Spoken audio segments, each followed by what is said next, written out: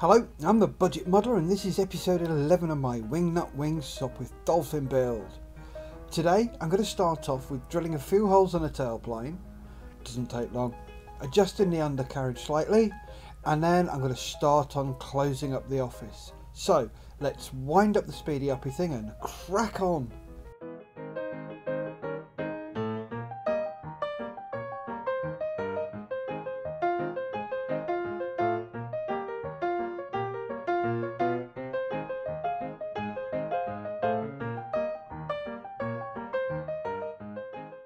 Now the office. I used to try and stick the two halves together at once and always found I had trouble with fit. Then somebody suggested to me doing it bit by bit. What a godsend that was. Okay, takes a little bit longer, but you don't to get a better fit. What's more important, speed or fit? I know where I am with this one. Anyway, I'm waffling again, so let's crack on seal up this office.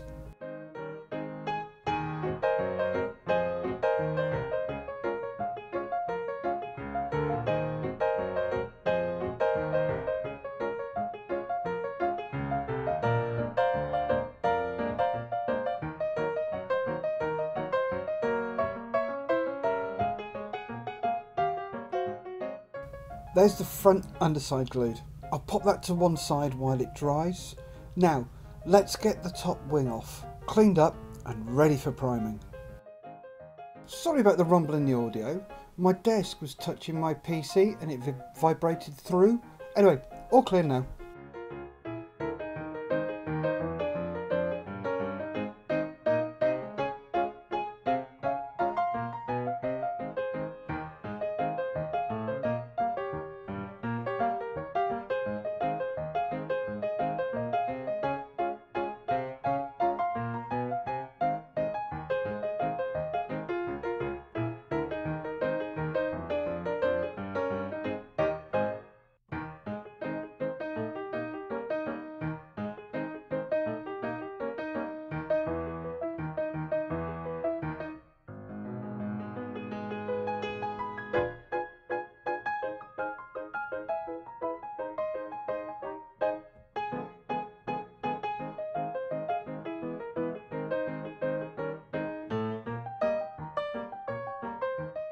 Whilst removing the upper surfaces from the sprue, I decided to take a big chunk of sprue with it. Not something I would normally do as I'd try and get in nice and close. Anyway, I took it back to the part and then sanded it flush. Don't know why I did it that time, just trying something new probably.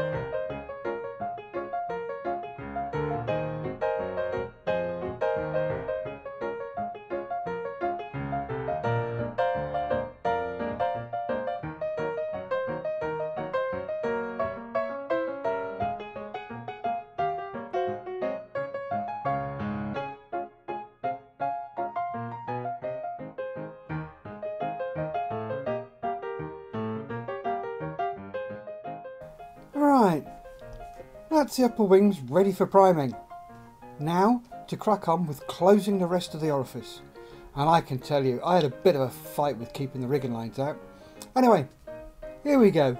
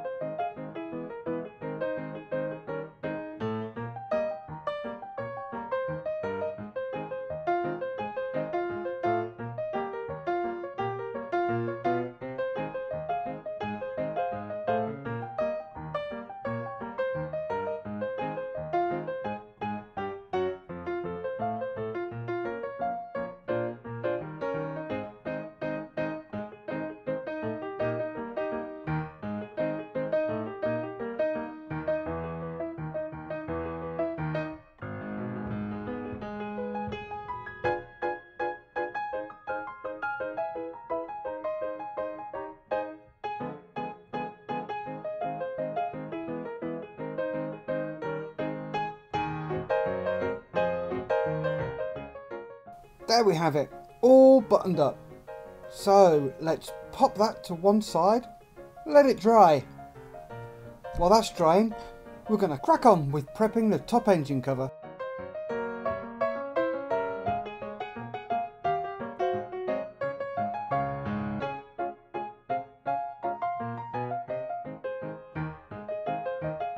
And there we have the top engine cover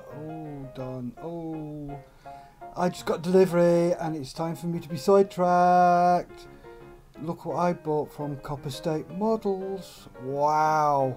Oh, looks like I'm building the figure then. Sidetracked once more.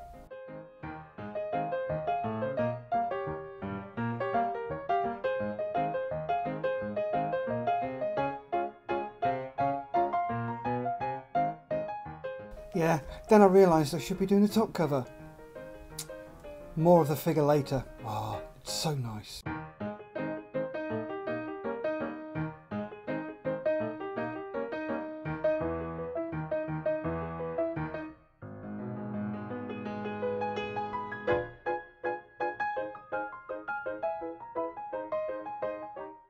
There's the engine cover done. A quick test fit.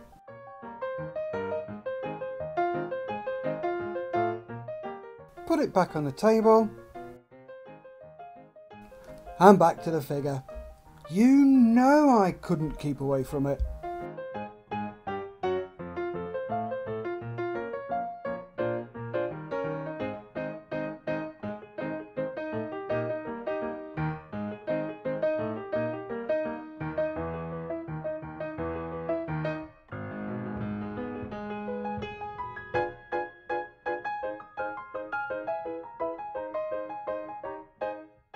He really has got a bit of a naff pose, hasn't he? Ah, well, he was an officer in the early 1900s, and all that malarkey in the public schools, you know what I mean.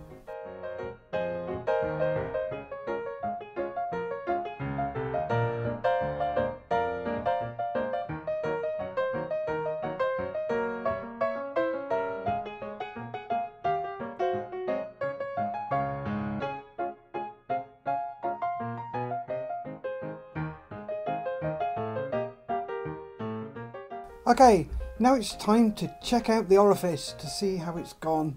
Hmm, looking good. Not too many touch-ups today. Oi, quiet in the cheap seats. So, let's give this a bit of a sound and see where we are.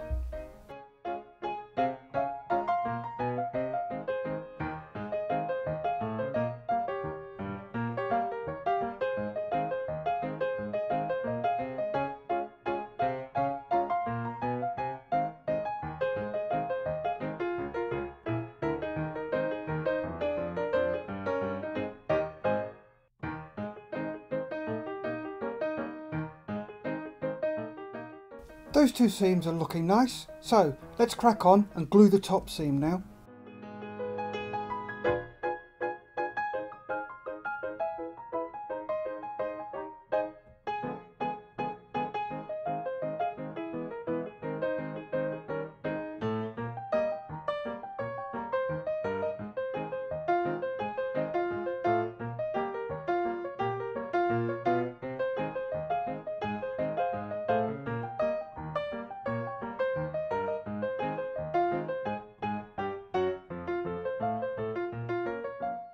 While that's on one side drying, I'm going to go around the lower section of the orifice and taking off as much paint to the mating surfaces as possible.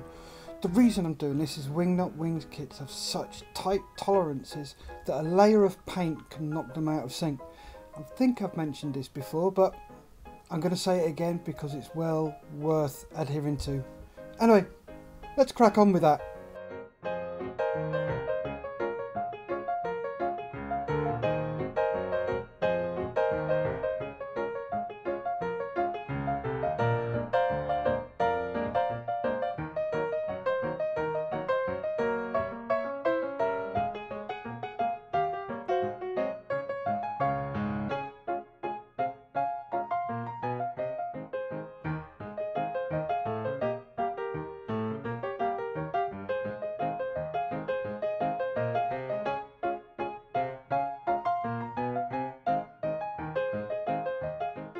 There's that done. So we'll just pop that to one side. Now, time to get back to the figure. Woohoo!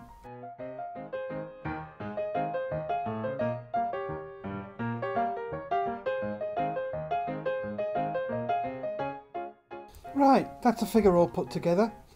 To put it together I use super glue and accelerator. The accelerator just to help to speed the setting of the super glue up. Now, let's have a look at this orifice. See how it's gone together. So, that seems to have gone together very, very nicely. Now, let's get rid of some of the paint.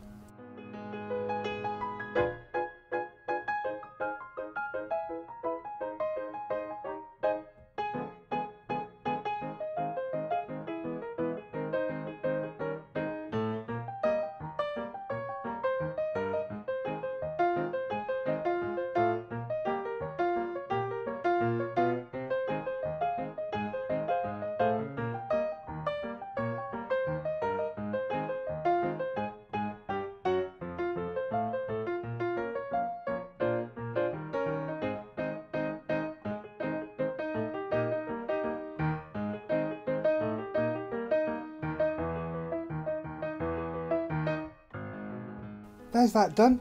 All the paint's removed from the mating surfaces. So this seems like a good place to end episode 11. Thank you for watching. If you like what you see, please subscribe to my channel, help it grow. Get the message out there to as many models as possible please. Like the video and ring my bell. Remember folks, stay safe, keep modelling.